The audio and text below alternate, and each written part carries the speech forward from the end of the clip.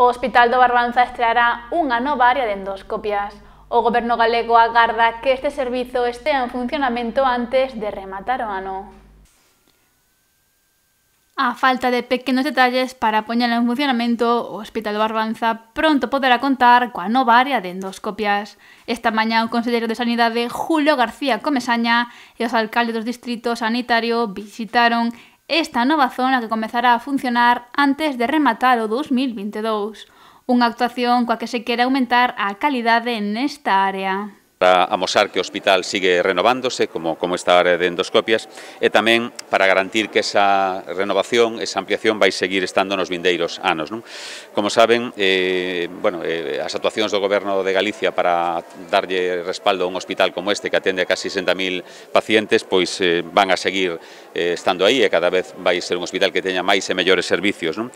Por iso, no ano 2020 rematamos unha ampliación das urxencias hospitalarias que tuveron un investimento de 1,6 6 millóns de euros, por iso neste ano 2022 estamos a, a completar esta renovación da área de endoscopias cunha inversión de 620.000 euros e por eso no presuposto do ano 2023 que presentamos a semana pasada no Parlamento contemplase 200.000 euros.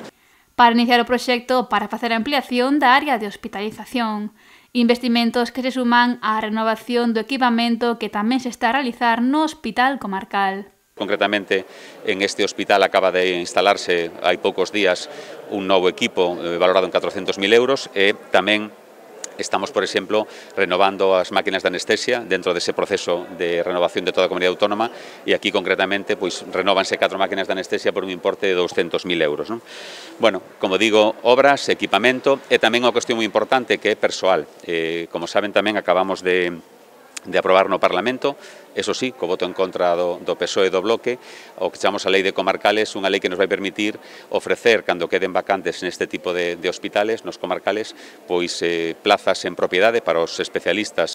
O titular do Departamento de Sanidade tamén apuntou que estudarán co Concello de Ribeira a posibilidade de atender a unha demanda que os usuarios levan facendo dende hai tempo, a ampliación do aparcamento.